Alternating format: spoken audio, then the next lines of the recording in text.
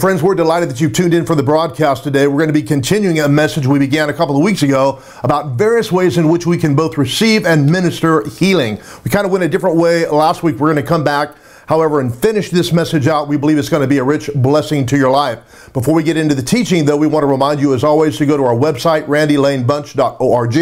And there, of course, we have a number of free resources available to you, our podcasts, as well as previous broadcasts of this television show, and other resources as well. Go to our media link at randylanebunch.org, and you'll find that there are many resources free and available to you that we believe will be a great blessing to you. In addition to all the free resources we have, you can also purchase our books from our our website. We have our devotional, Immutable Changeless Truth for a Changing World, which we believe will be a blessing to you. But we also have a book that I'm going to actually be reading out of today. We're going to be sharing some testimonies out of this book with you. It's simply called The Gospel Saving Power. You can buy both of these books on Amazon, but if you go to our website, you'll find various links that'll take you uh, to where you can purchase these books, and we believe that they'll be a blessing to your life. As always, we want to hear from you. We want to hear your testimonies. If you've been healed, if you've been saved, if God has touched you through this broadcast in any way, it's a great encouragement to us to hear from you. So please email us at info at connectingpc.org. Well, we want to get right back into the Word of God today, and we're going to be reading from the same story we began with a couple of weeks ago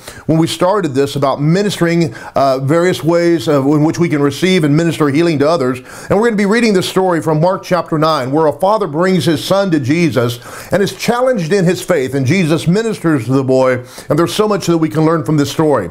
Beginning in Mark chapter 9, verse 14, we read. And when he came to the disciples, he saw a great multitude around them, and the, and the scribes disputing with them. Immediately when they saw him, all the people were greatly amazed, and running to him, greeted him. And he asked the scribes, What are you discussing with them? Then one of the crowd answered and said, Teacher, I have brought you my son who has a mute spirit. And whenever it seizes him, it throws him down, and he foams at the mouth, gnashes his teeth, and becomes rigid. So I spoke to your disciples that they should cast it out, but they could not. He answered and said to him, O faithless generation, how long shall I be with you? How long shall I bear with you? Bring him, in, bring him to me. Then they brought him to him. And when he saw him, immediately the spirit convulsed him and fell on the ground and wallowed, foaming at the mouth. So he asked his father, How long has this been happening to him? And he said, From childhood. And often he has thrown him both into the fire and into the water to destroy him. But if you can do anything, have compassion on us and help us. Jesus said to him, If you can believe, all things are possible to him who believes. Immediately the father of the child cried out and said with tears, Lord, I believe, help my unbelief.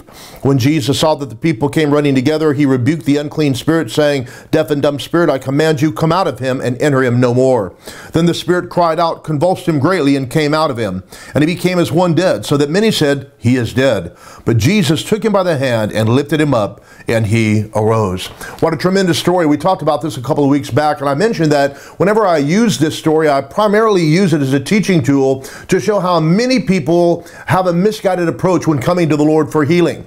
Now, like we said, we have to command this, commend this man because at least he knew to come to Jesus. And a lot of times people today are trying every method under the sun before they finally come to God and bring their request to him. And so at least this man knew that Jesus could help him. Uh, but when he comes to Jesus, he makes the mistake that many of us make. He throws all the responsibility for his son's healing at Jesus he basically says to him, you know, this spirit has torn him and thrown him into the fire, into the water many times to destroy him. But if you can do anything, have compassion on us and help us. In other words, if you have the ability and if you care enough, do something and help us. So in this father's mind, if for whatever reason his boy isn't delivered, then either Jesus' ability or his compassion will be called into question. So he's kind of trying to paint Jesus in a corner. And I think a lot of people do that when they wonder, why is there suffering in the world? Why isn't everybody healed? Why is there so much so many bad things that happen to good people, and we just assume that if God is God, He's going to do something about it. And so we kind of try to paint God into a corner similar to what this father did with Jesus. But it's very hard to put Jesus in a corner, and so Jesus puts the shoe of responsibility back on the father's foot and said, If you can believe, all things are possible to him who believes. Some translations render it this way If you can, believe. All things are possible to him who believes. Either way you read it, Jesus is saying, I need some faith out of you. It's not a matter of what I can do. It's not a matter of what I will do. It's a matter of what can you believe. It takes faith to please God, friend. And when we exercise faith, as we've seen again and again and again through our healing school and the various messages we've been teaching on healing, when we exercise faith in the promise of God, it releases God's power to produce healing and blessing and salvation in our lives. We begin to see this in many different instances. We saw, for example, in Romans 1.16, the Bible said the gospel is the power of God unto salvation to them that believe. And we said that salvation doesn't only mean the salvation of our souls or our spirits, but it also means healing as well. We talked, uh, spent quite a bit of time going over those truths. We also saw that the woman who had an issue of blood in Mark chapter 5 came to Jesus, and the Bible said she had heard about his ministry. She had heard about him healing the sick. She came behind him in the press because she kept saying, saying, if I can just touch the hem of his garment, I'll be made whole. That was her faith in action. When she touched the hem of his garment, the Bible said the power of God that was uh, upon Jesus, that a power with, with which he was anointed, flowed out of him and into her and effected a cure and a healing in her body. Jesus turned to her and said, Daughter, your faith has made you well. It's a Greek sozo, your faith has saved you. So again and again, like Jesus said to this father, we need to um, express some faith in the promise of God. We need to express some faith in God to release His power on our behalf. But then the Father says something that I think we can all identify with. He said, Lord, I believe, help my unbelief. There's some people who hear the promise of God and just simply take God at His word and appropriate His promise.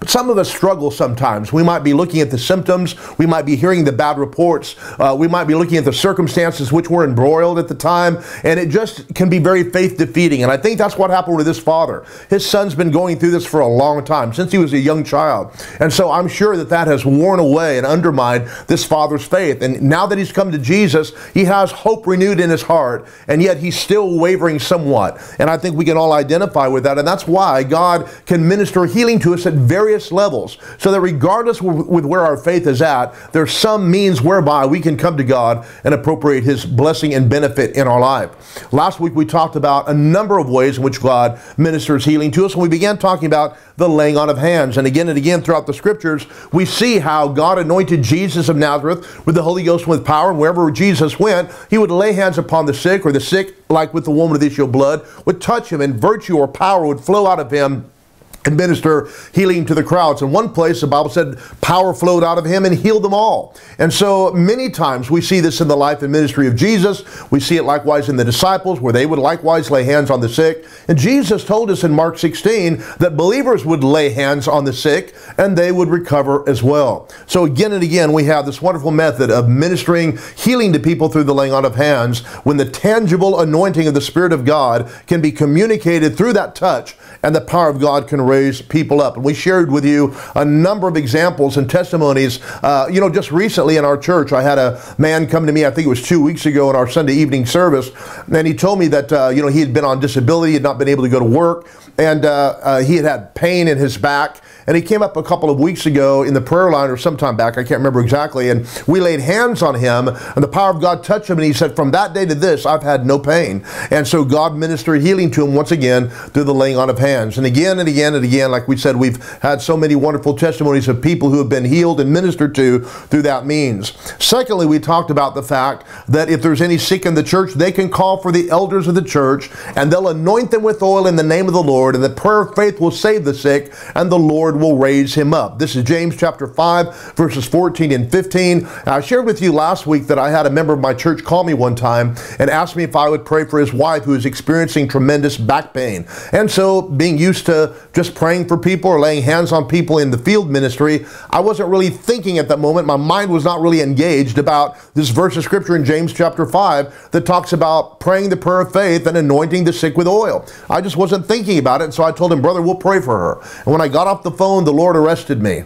And I said, Lord, I, I, missed it somehow. And he said, Your church member called you and asked you to pray for his wife. You should do what I told you to do in my word. If, if there's any sick among you, let him call for the elders of the church. Let them pray over him, anointing him with oil in the name of the Lord. And the prayer of faith will save the sick, and the Lord will raise him up. Well, we did exactly what the Lord said. We anointed her with oil, we prayed for her, and she was raised up. But as I said, oftentimes people get their eye on the oil and the elders. And as I've said for years and years and years, you can have enough elders to circle the block and enough Crisco to drown in. But if you're not praying the prayer of faith, ain't nobody getting well. So we need to pray the prayer of faith because that's what saves the sick, enabling the Lord to raise them up. Today, I want to talk to you about a couple of other ways in which God heals, and one way is through His Word. God heals us through His Word. So I want you to look with me, if you will, at Psalm 107. Uh, verse uh, 17, Psalm 107, verse 17. And here we read this Fools, because of their transgressions and because of their iniquities, were afflicted. Their soul abhorred all manner of food, and they drew near to the gates of death.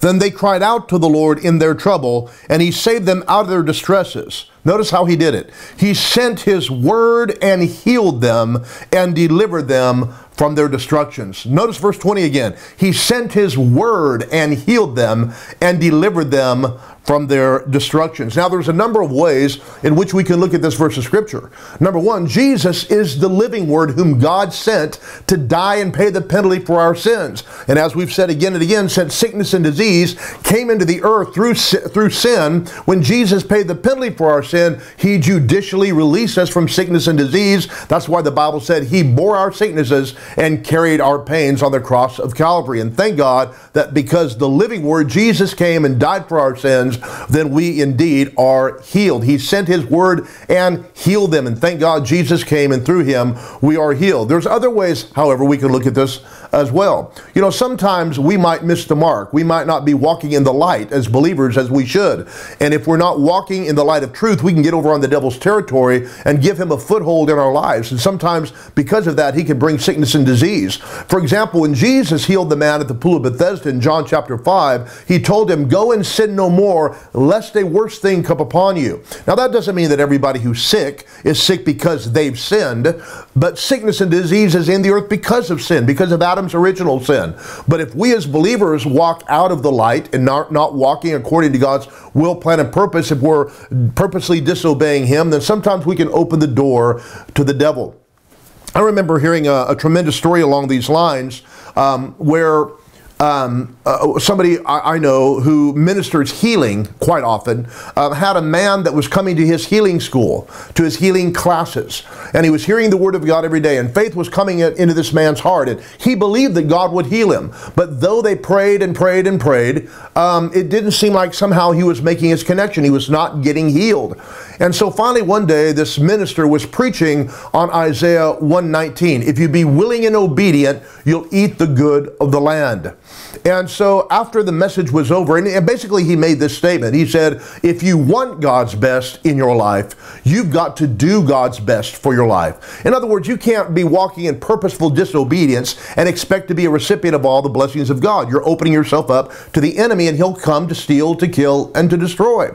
And so after the message was over, this man came to this Bible teacher that I know of and he said, I know exactly what the problem is. And he said, what? He said, as a young man, the Lord told me to go on the mission field. He told me to be a missionary. And he said, I was excited about the call of God, but when I went and told my wife, she looked at me and shook her head and said, God hadn't said anything to me about being a missionary. If you want to be a missionary, you'll have to go on your own. And he said, I had to choose between obeying God and, and my wife staying with me. And he said, I didn't want to lose her, so I didn't do what the Lord told me to do. I didn't go on the mission field. And so in all these years, he had really been in disobedience to the will, plan, and purpose of God for his life. And he said, Brother, we've suffered. I've suffered. Our businesses have suffered. Our children have suffered. My wife and I have suffered. And he was sick in body because, again, he had opened a door to the enemy. So sometimes the Lord will send a word of correction. He sends His word and heals us and delivers us from our destruction. You know, one word of God can save your life. And sometimes you might be even sitting in a sermon, listening to your pastor or somebody else preach the word of God, and suddenly God begins to deal with your heart. The Bible said that God's word is sharper than any two-edged sword and divides asunder soul and spirit, joint and marrow. It can get into those hard to reach places of our life. And God may begin to deal with you about certain issues in your life that you need to make adjustments, where you need to make corrections,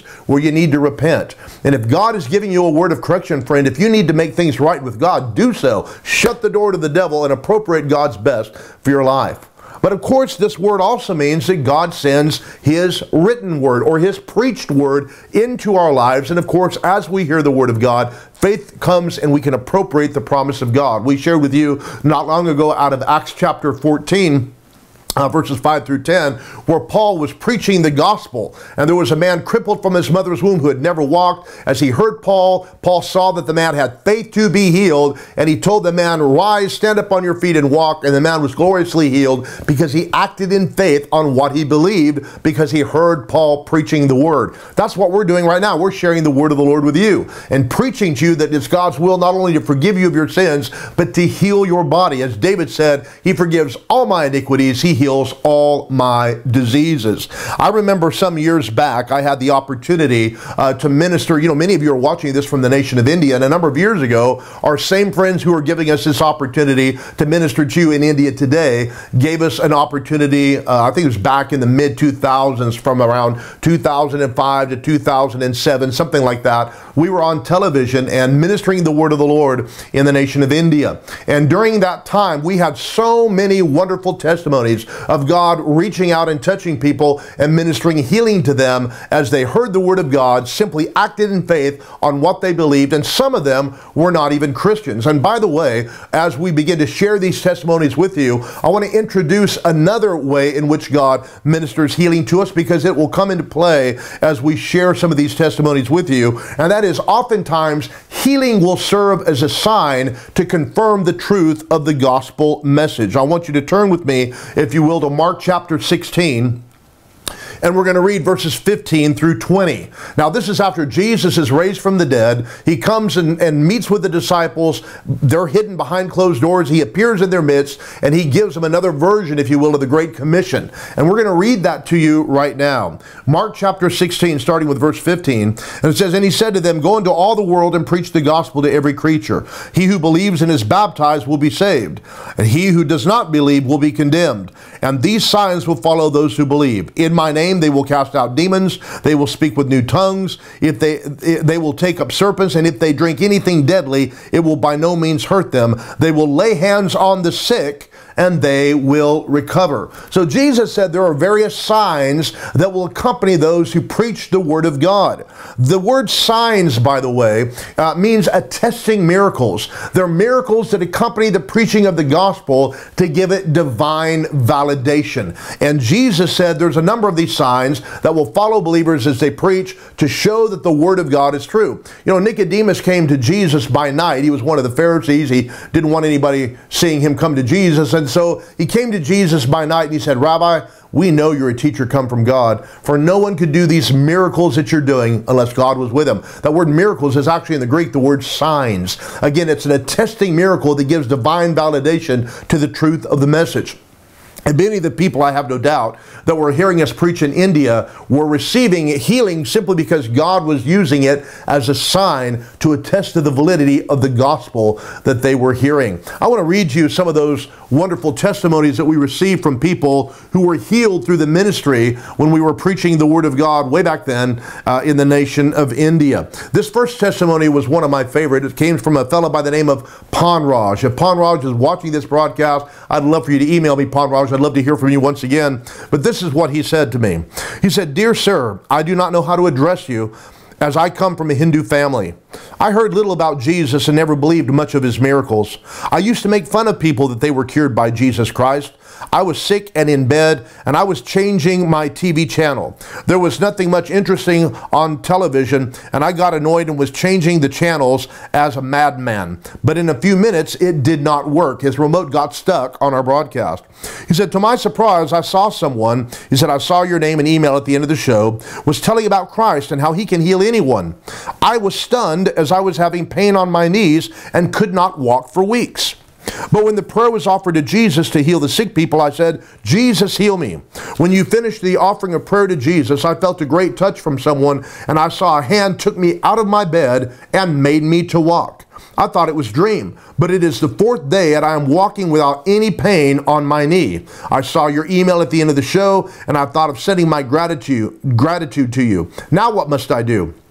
Is there anyone here who can help me to know what I have to do? I offer prayer that Jesus works through you. I am expecting a reply soon. Your friend, Panraj. Well, I remember when I got this testimony, it was one of the very first ones we got when we began broadcasting, and I was so excited that I emailed Panraj right back. I prayed with him to accept Christ, and I sent him to my friends were not very far away from where he was living. They prayed with him also, and God uh, transformed his heart, and Panraj became a follower of Jesus Christ. Wasn't long after that we had another tremendous uh, report from a woman named Mrs. Ganapathy, and I want to read you her testimony as well. Dear respected sir, Randy Bunch, in God's name I write to you. I am Mrs. Ganapathy, a homemaker. I do not know computer, but my daughter Debbie knows. This is the first letter I ever wrote to anyone. I did not write even to my own family so far because we are raised in a strict Hindu family. You may think why I write this letter to you. I am writing this for one good reason. My mother had eye problems in her left eye, and we spent large money for her hospital expenses, but no doctor was able to cure her. She had lost her sight in the left eye. My mother likes to watch television, and when she was changing the channel, she tried to change it to another, but the remote was not working and you were speaking. My mother called my daughter, her granddaughter, and asked what it was what is the preaching about as she was curious to see a white man saying something which caught her attention. My daughter was translating for her with her little knowledge. But, uh, but we got the message. We heard that Jesus can heal the sick. So my mother, my daughter, and myself prayed to Jesus to heal her left eye. It was so marvelous. After you said prayer to Jesus, my mother said she saw Jesus touching her, though she did not have any idea about Jesus. She was healed instantly. Now she has vision in both eyes, and she quit watching other TV programs and likes to watch yours every time. We all think you thank Jesus. Do you have any picture of Jesus so that we can keep and worship him? We do not know anything about Jesus and how to offer or say or ask Jesus. So inform us as to what we must do. With folded hands, we give our thanks from our hearts. So once again, a tremendous testimony of healing that came from these humble people who simply believe that Jesus would do exactly what he said he would do in his word. One of my favorite testimonies came right after this uh, from a man whose daughter uh, was in the hospital. And let me read this testimony to you as well. He said, My daughter Jasmine was admitted in the hospital for brain fever. She was suffering with much pain. The doctors gave drips but it seemed she was in great agony, probably some kind of morphine drip or something like that. So we used to record your healing messages that came on Kingdom TV. So we have decided to play your message in the hospital so she and we all can hear and increase our faith to heal her. We brought the TV VCR and played your message, and we all knelt down and prayed when you started praying for the sick. As soon as we finished the prayer, we saw our daughter opened her eyes and was praising. Not only that, two other patients in adjacent room also were healed of their illness. Thanks to you and God. God bless you, Pastor, for your love for the sick people. That's from a brother named James. So we rejoice with all these tremendous healings. How were they healed? Well, I have no doubt that in Panraj's case, it might have simply been a sign to attest to him the validity of the gospel that he was hearing so that he could put his faith in Christ and be saved. But here are these Christian people who listened to the broadcast, built up their faith, and simply expressed their faith in the Word of God. And as they did so, their daughter was marvelously healed. One of my favorite testimonies comes from my friend himself, who was giving us the opportunity to minister on the channel. And this is what he wrote me. He said, Dear Pastor Randy, trust that you got my earlier email. The Lord is working and we have people calling and letters keep coming. Just now, a lady came and told us that she heard you were preaching about a woman with an issue of blood. The lady had the same problem and was abandoned by the doctors, and she became very, very weak and fragile. Almost she hated to live as she thought she was a burden to her family. When she, and he mentioned she's Hindu, heard that the woman had 12 years of an issue of blood problem, she turned the volume high, uh, volume high and was listening. After the message, when you prayed, she, she, without her knowledge, knelt down and was shouting to Jesus for her healing.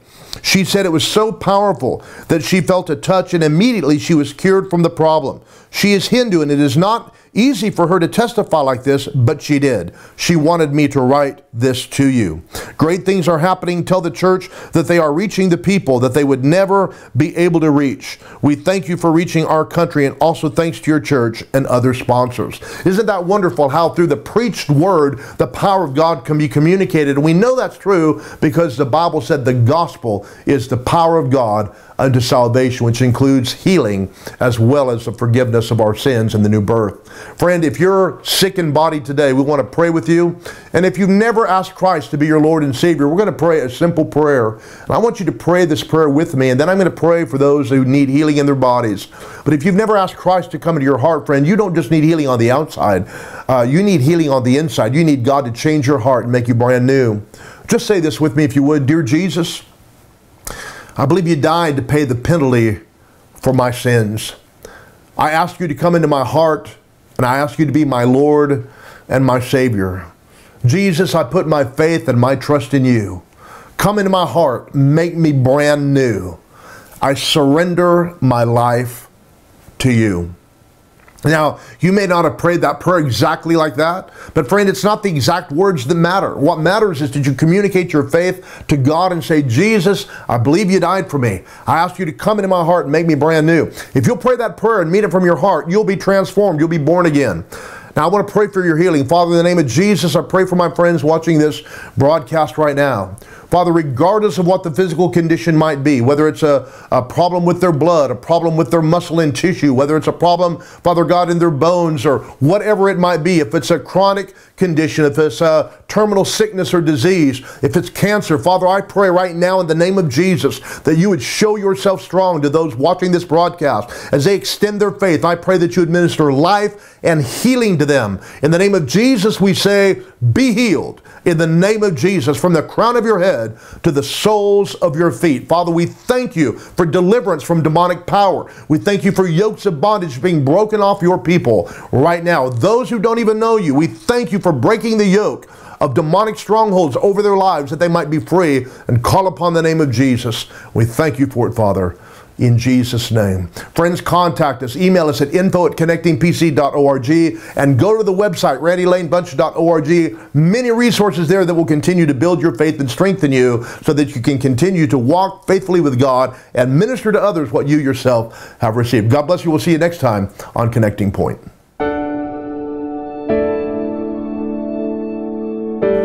One particular night, the Spirit of God was moving, and God had given me a word of knowledge for somebody with a kidney condition. And for whatever reason, I mean, I look back now and I don't know what made me hesitate, but for whatever reason, I didn't call that out initially. And I thought, I guess maybe in my mind, I'm thinking, kidney condition. You know, maybe I hadn't called something out like that. I don't know why I was hesitant, but I didn't. And I kind of just wrote on past that. And then something else came into my heart about somebody with a condition in their heart. So I called that out. A man responded. I prayed for him, and I felt I got to obey God. And so I thought, well, we already had one come forward and be ministered to. So if I did miss it, at least we got the one ministered to. I don't know what I was thinking. So I called that word out, and the gentleman from the back came forward, very tall. I would say six three, six four, at least, maybe taller. And uh, he came forward and very tall, but very thin, very uh, pale, very anemic looking. And um, he said, we prayed for him. And when we prayed for him, I'm telling you, the power of God hit that man. And he fell under the power. And um, he tried getting up a couple of different times. And back down he'd go. We'd keep praying for him, and he just kept falling under the power of God. And finally, he was just lying there, and everyone else had got up and gone back to their seats. We just missed the service. Everybody else had gone home, and the pastor said, You know, as we're turning out the lights, I'm helping him to his feet and helping he and his wife out to their car. And he said, Guys, he said his skin was vibrating underneath my hand as I was carrying him out to his car. Friday night, we had a testimony meeting, and we wanted people who had received a touch, been healed, to come forward. We had a mic up there for them to share. I'm telling you, the moment we opened the mic for testimonies, this guy didn't come walking, he came bounding. A tall guy like that, it looked like a gazelle, bounding down to the front. He grabbed that mic and he shared the story with us. He said, I was diagnosed with the same kidney condition, deteriorating kidney condition that my mother had died with. And it's always hung over my head like a death sentence. Um, but he had received such a touch from God, nobody had to question whether God had done a work in his life. He was still obviously thin, still somewhat uh, pale, because obviously it was going to take a while for him to recover completely from that. But the healing had obviously uh, taken place in his body, and the level of energy and the beaming on his face, the light on his face, uh, told us that God had done a tremendous work.